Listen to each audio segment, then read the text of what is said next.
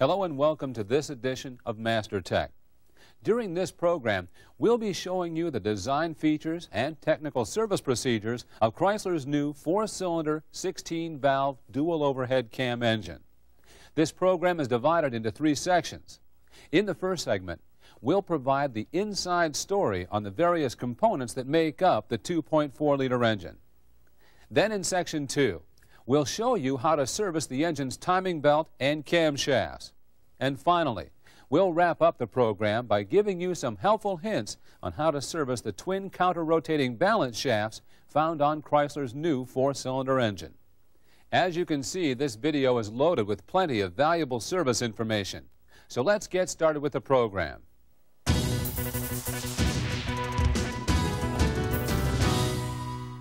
The new 2.4-liter four-cylinder dual overhead cam engine will be available on the Dodge Stratus in February of 1995.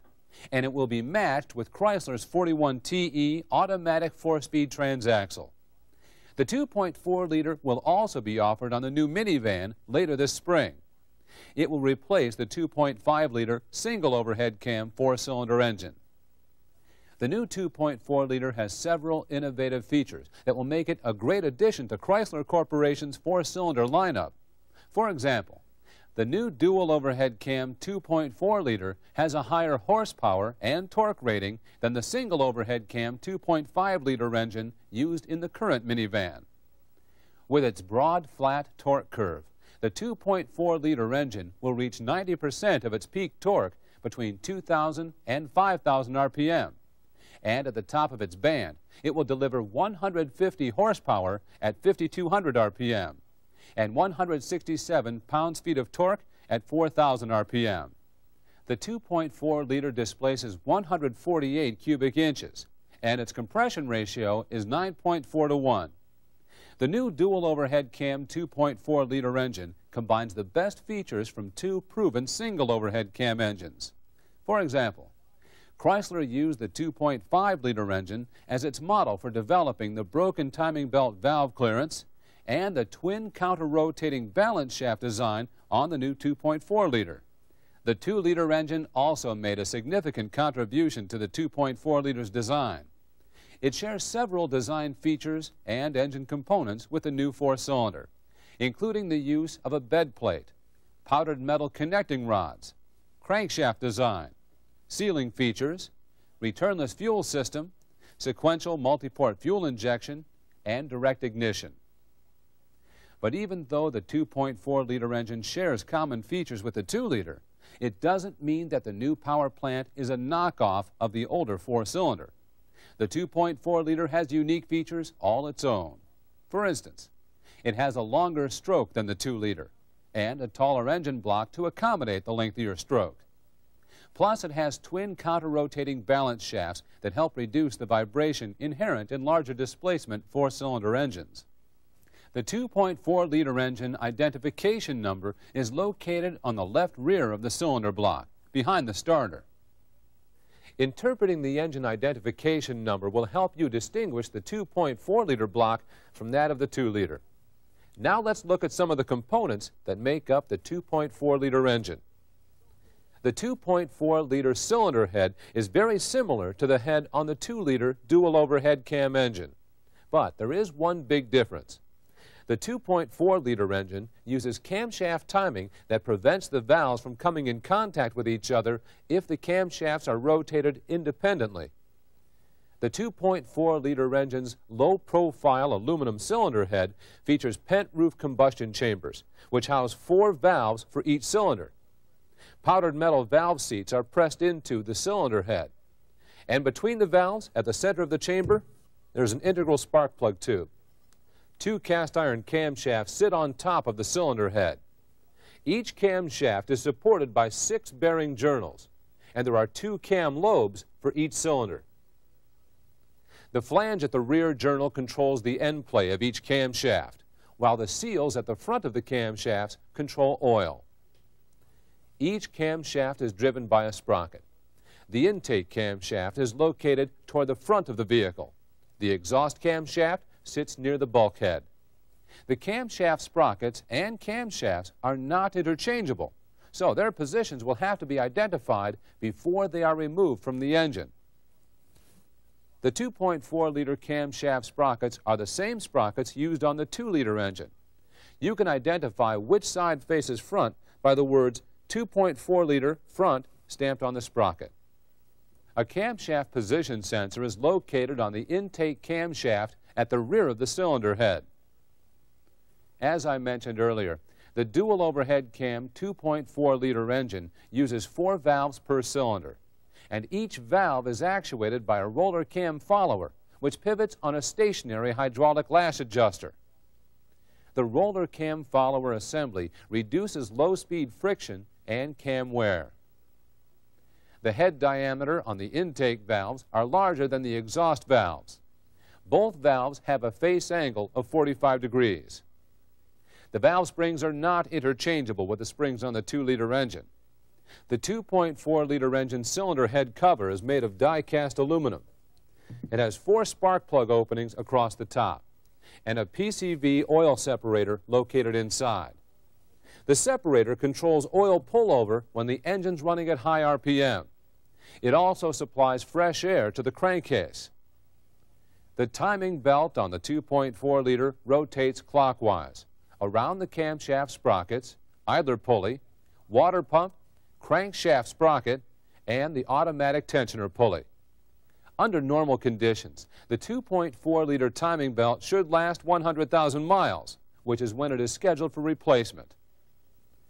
The intake manifold is a two-piece aluminum casting that has individual primary runners that lead from a plenum to the cylinders. The throttle body, map sensor, intake air temperature sensor, EGR tube, and fuel injectors are mounted on the intake manifold. The exhaust manifold is made of nodular cast iron. The relatively thin walls of the manifold provide quicker catalytic converter operation. The oxygen sensor is located near the manifold outlet. The two-piece cast iron cylinder block uses a ladder-type bed plate it's designed to provide the structural rigidity needed to reduce noise, vibration, and harshness. Unlike the 2-liter engine, the 2.4-liter cylinder block has a closed deck design. The cylinder bores are separated by a small water jacket cast between each cylinder. The rear crankshaft oil seal housing is integral with the block. An oil gallery at the right side of the block feeds the five main bearings. On the cast aluminum pistons, the pop-up top and valve notches provide room for valve clearance. This design, along with the taller block, gives the 2.4-liter engine its broken timing belt valve clearance feature. The 2.4 liters piston pins are press fit into the pistons and connecting rods. Individual pistons and connecting rods are serviced as assemblies. The connecting rods can only be assembled one way because they are laser scribed and fractured during the manufacturing process. Fracturing controls the balance of the piston, and it keeps the cap from shifting in its position. If damage occurs to the fractured surface during service, then the entire piston and connecting rod assembly will have to be replaced. Forged-in locating lobes are provided for reassembly. The cap is secured to the rod with two bolts. No nuts are needed. When tightening the bolts, be sure to torque them to 20 foot-pounds, plus one quarter turn. Lubrication is provided to the bearings through slots drilled in the connecting rod. The 2.4-liter crankshaft is supported by five main bearings. The number 3 bearing controls the crankshaft's thrust. Eight counterweights are used on the crankshaft to reduce engine noise, distribute bearing loads, and minimize internal stress. At both ends of the crankshaft, there is a seal that controls engine oil. The timing belt sprocket is pressed onto the nose of the crankshaft, and it drives the timing belt, camshaft sprockets, and water pump. A crankshaft position sensor is mounted on the engine block behind the generator. One of the big features on the new 2.4-liter engine is the twin counter-rotating balance shafts. The 2.4-liter uses a balance shaft system similar to the one used on the 2.5-liter single overhead cam four-cylinder engine.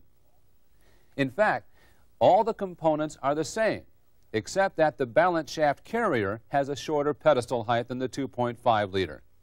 Another difference between the two four-cylinder engines is that the balance shaft drive chain sprocket on the new 2.4 liter is pressed onto the crankshaft, while it's bolted on the 2.5 liter. The balance shafts rotate in opposite directions at twice crankshaft speed. As a result, the counter rotation of the shafts offsets the reciprocating mass of the engine. The new 2.4 liter engine also features a crankshaft-driven gerotor oil pump located behind the cast aluminum housing on the front of the engine block. The pump pressurizes the engine oil and sends it to the oil filter, then to the main oil gallery. The main oil gallery routes oil to the cylinder head through a vertical passage containing a block-mounted restrictor. The head, in turn, supplies oil to the camshafts and lash adjusters through a gallery that runs the full length of the head.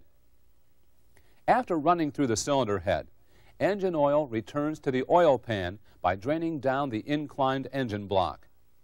The pistons are splash lubricated by slots on the connecting rod assemblies.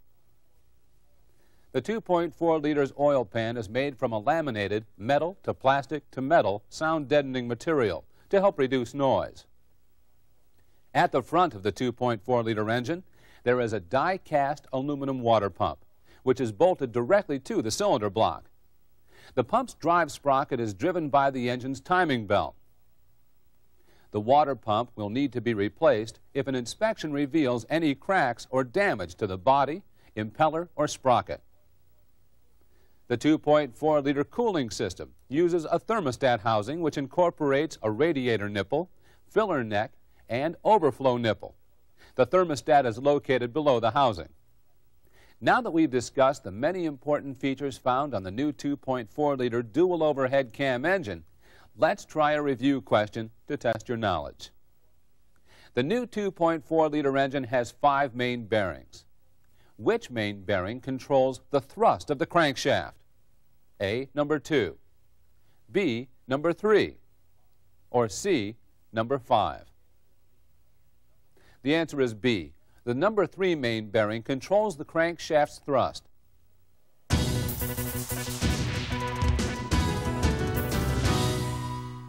Next, we'll perform several service procedures that would normally be done with the engine in the vehicle. But in order to give you a better look at the process, we're going to perform the procedures on an engine stand. As you know, there are a number of things that could cause poor engine performance. One of them is incorrect cam timing.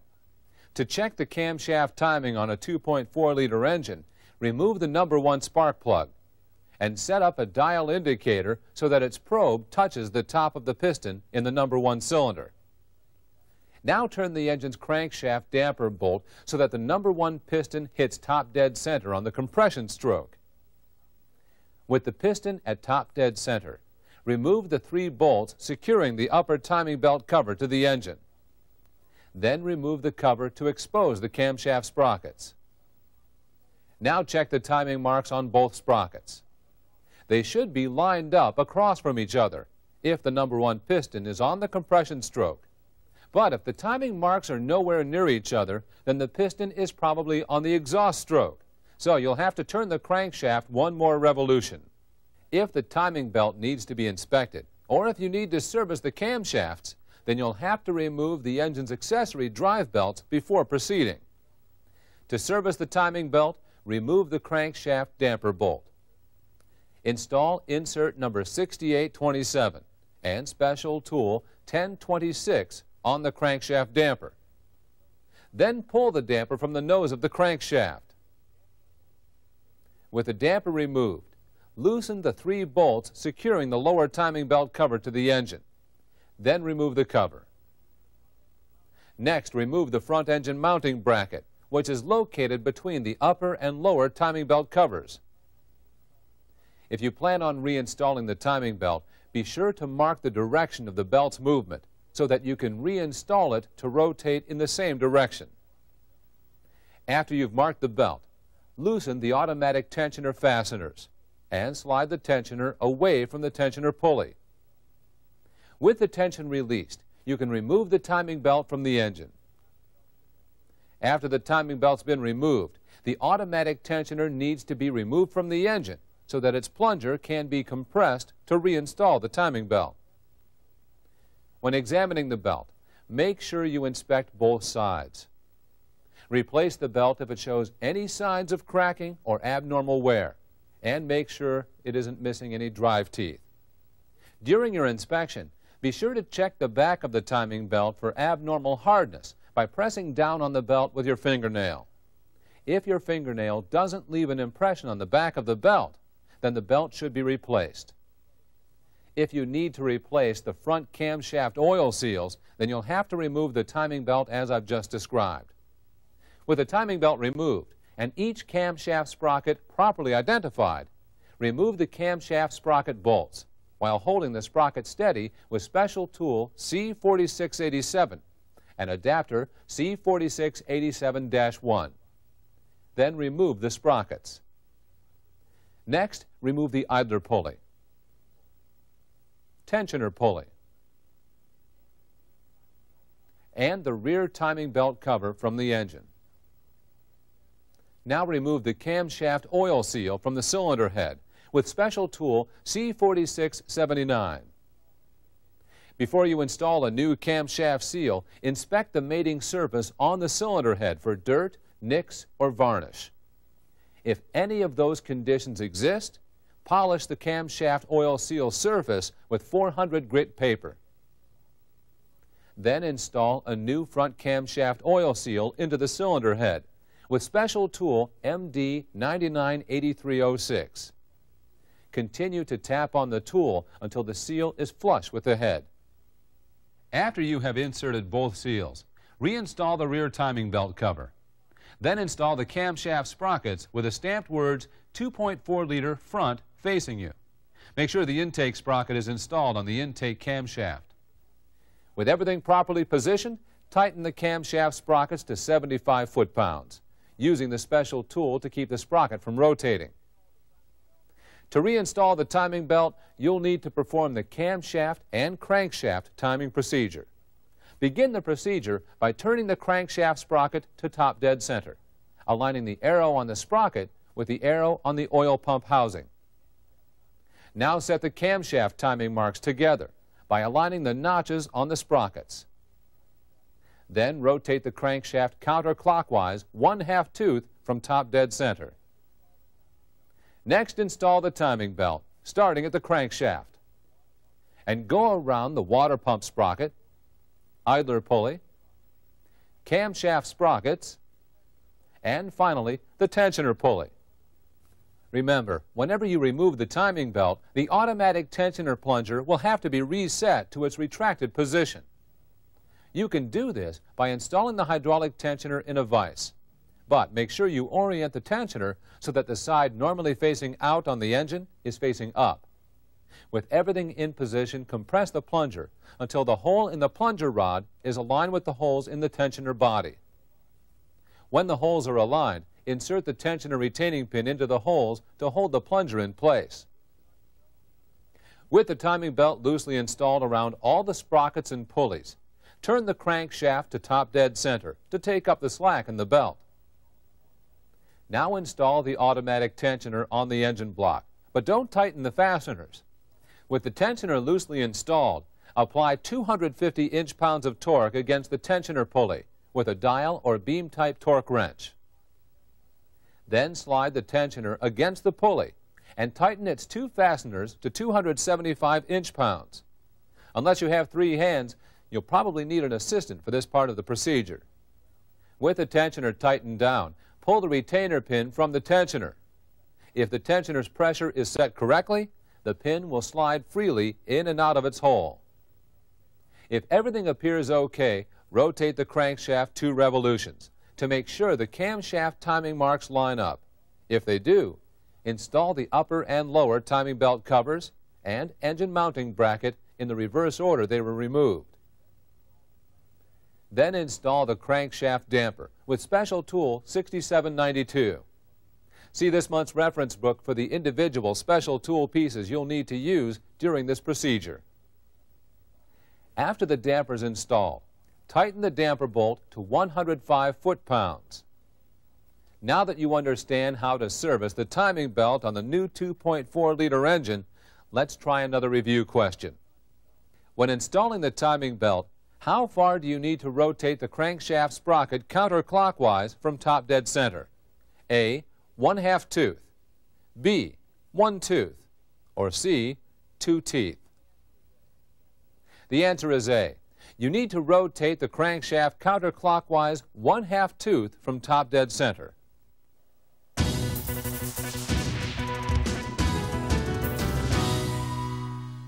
There are two ways to remove the twin counter-rotating balance shafts on the 2.4-liter engine. One way is through the rear cover with the balance shaft carrier installed on the engine. And the other way is by removing the carrier from the engine as a complete assembly. To remove the balance shafts with the carrier installed on the engine, you'll need to drain the engine oil and remove the automatic tensioner, the timing belt, camshaft sprockets, idler pulley, tensioner pulley, and the rear timing belt cover. Next, remove the crankshaft sprocket with special tool 6793 and insert C4685C2. Then remove the oil pan as well as the oil pickup tube. Now remove the crankshaft keyway. Then loosen the fasteners securing the oil pump body to the engine and remove the pump. With the oil pump gone, remove the balance shaft drive chain cover, plus the chain guide and automatic tensioner. After the chain guide and tensioner have been taken off the engine, remove the double-ended gear cover retaining stud and the two retaining bolts that hold the chain sprocket and balance shaft gears onto the assembly. With all the fasteners removed, Separate the balance shaft drive chain and sprocket from the engine. Use two wide pry bars to work the drive sprocket back and forth off the gear shaft. Next, remove the rear cover from the back of the balance shaft carrier. Then pull the two balance shafts from the carrier. And that's all you have to do to remove the balance shafts from the engine with the carrier remaining on the block. To remove the carrier as a complete assembly, Take off the chain cover and remove the balance shaft chain sprocket retaining bolt. Now loosen the pivot and adjusting bolts holding the tensioner against the drive chain. With the chain tensioner relaxed, move the chain-driven balance shaft through the chain sprocket and allow the chain loop to support the sprocket. Then remove the chain and sprocket. Finish the procedure by removing the four bolts securing the balance shaft carrier to the crankcase. That's all there is to it. The only thing left to do is to check the balance shafts for galling or any other signs of oil starvation. To reinstall the balance shaft carrier, position the carrier on the crankcase and tighten its four attaching bolts to 40 foot-pounds. When the balance shaft carrier is reinstalled on the engine, the balance shafts need to be timed to the crankshaft. To do this, turn the balance shafts until their keyways are standing up in the 12 o'clock position. Now install the short hub drive gear on the sprocket-driven balance shaft and the long hub gear on the gear-driven shaft. The gears must be installed with the keyway straight up and the gear timing marks lined up across from each other. With the two balance shaft gears properly positioned, Install the balance shaft gear cover and tighten the double-ended stud and washer to 105 inch-pounds. Now turn the crankshaft until the timing mark on the chain sprocket lines up with the parting line on the left side of the number one main bearing cap. Now place the chain over the crankshaft sprocket so that the nickel-plated chain link is directly over the timing mark on the crankshaft sprocket. With the chain properly positioned on the crankshaft sprocket, place the balance shaft sprocket into the chain so that the yellow dot on the sprocket mates with the lower nickel-plated chain link. This link is eight links from the upper one.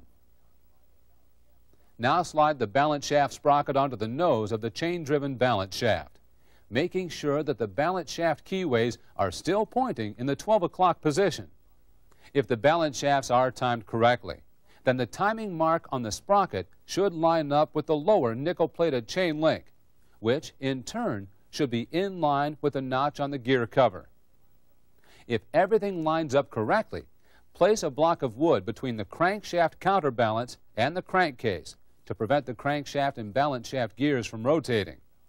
Then tighten the balance shaft retaining bolts to 250 inch-pounds. Now install the chain tensioner on the gear cover so that it rides loosely against the chain. After the tensioner is installed, position the chain guide on the double-ended stud, making sure its tab fits into the slot on the gear cover. With the chain guide properly positioned, install the nut and washer assembly and tighten it to 105 inch-pounds. Now place a 39 thousandths of an inch shim between the tensioner and the chain and apply approximately 6 pounds of pressure to take up the slack in the chain. With the load applied, tighten the top tensioner bolt to 105 inch-pounds. Then tighten the pivot bolt to the same specification. After fastening down the tensioner, remove the shim and install the carrier cover, tightening its bolts to 105 inch-pounds. Now let's try a brief review question to test your knowledge about the balance shafts on the 2.4-liter engine. When the balance shaft carrier is reinstalled on the engine, the balance shafts need to be timed to the crankshaft with the balance shaft keyways pointing in which direction? A. 12 o'clock, B. 3 o'clock, or C. 6 o'clock? The answer is A. When the balance shaft carrier is reinstalled on the engine, the balance shafts need to be timed to the crankshaft with the balance shaft keyways standing up in the 12 o'clock position. Well, that concludes our program on the 2.4 engine. Join us next time when we discuss 41TE and 42LE transmission diagnostics. We'll see you next time on Master Tech.